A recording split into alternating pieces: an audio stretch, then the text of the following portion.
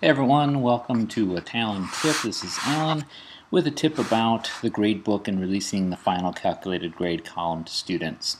So by default the gradebook is adding up, calculating the final score, the current score for the students, and you usually see that in the final calculated grade column. But also by default this column is hidden to students, so they don't actually see their calculated score, and you know it's hidden to them, they're not published because they have the little eyeball with the line slashed through it uh, so if you see it with just the eyeball then it is released uh, but the default is to hide it from them in an unreleased state.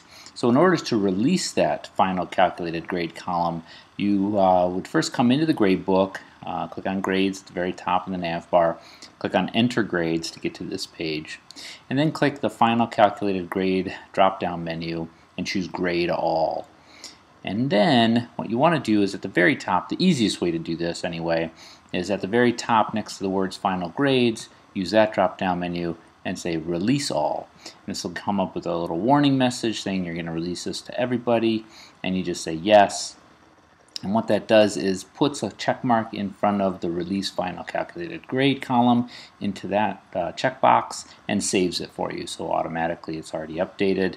Uh, to be sure you can click save and close and just say yes. And now all of these uh, final calculated grades have been uh, released or published to the student. So when they click on their grades link, they'll see their total score at the top of the, uh, the grades report uh, rather than uh, just individual scores. So if you'd like to have them released, uh, make sure you do that at the beginning of every term, um, but just know that if a student comes in late to your class, and you'll have to mark them and release the column for them too. So you might wait for a, a week or so before you publish that.